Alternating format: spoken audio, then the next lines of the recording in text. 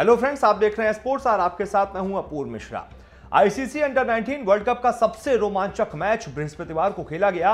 यह मुकाबला ऑस्ट्रेलिया और इंग्लैंड की दो मज़बूत टीमों के बीच हुआ, जिसमें ऑस्ट्रेलिया ने पचासवें ओवर की आखिरी गेंद पर जीत दर्ज कर इंग्लैंड को टूर्नामेंट से बाहर का रास्ता दिखा दिया।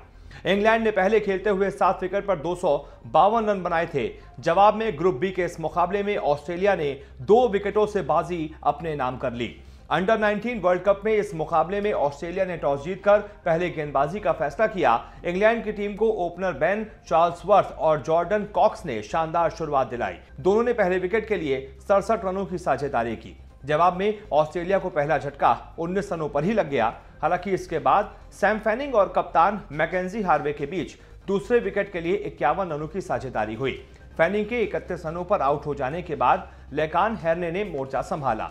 उन्होंने 45 रन बनाए। मैकेजी के आउट होने से यह साझेदारी टूट गई। ऑस्ट्रेलियाई कप्तान ने आउट होने से पहले पैंसठ रनों की पारी खेली। उनके आउट होने के बाद मुकाबले में इंग्लैंड की वापसी हो गई और मैच आखिरी ओवरों के रोमांच में जा पहुँचा। अब ऑस्ट्रेलिया को आखिरी तीन ओवरों में 40 रनों की दरकार थी। टीम के लिए कोनोर, सुली, क्रीज पर थे। इसके बाद 48वें ओवर में सुली ने तीसरी और चौथी गेंद पर लगातार छक्के जड़ दिए और फिर पांचवी गेंद को चौके के लिए भेजकर ओवर में 22 रन बटोर लिए। इसके बाद 12 गेंदों पर 18 और आखिरी छह गेंदों पर टीम को चाहिए थे 10 रन। पचासवें ओवर की पहली गेंद पर मर्फी ने एक रन बनाया, फिर सुली ने सिंगल लिया, तीसरी गेंद पर मर्फी ने चौका जड़ दिया, चौथी गेंद पर उन्होंने एक रन चुरा लिया। ओवर की पांचवी गेंद पर सोली ने दो रन लिए। अब टीम को एक गेंद पर एक रन की दरकार थी जिसे हासिल करने में सोली को कोई परेशानी नहीं आई।